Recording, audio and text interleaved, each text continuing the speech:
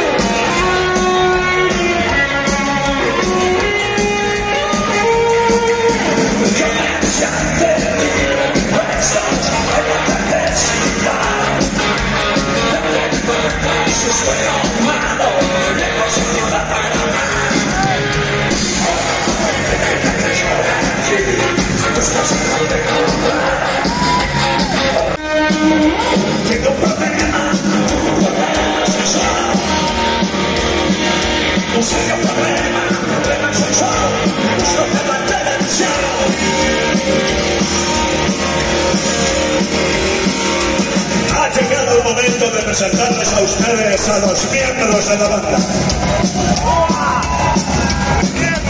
Quien ha ejecutado esa tormenta en grave sonora y realmente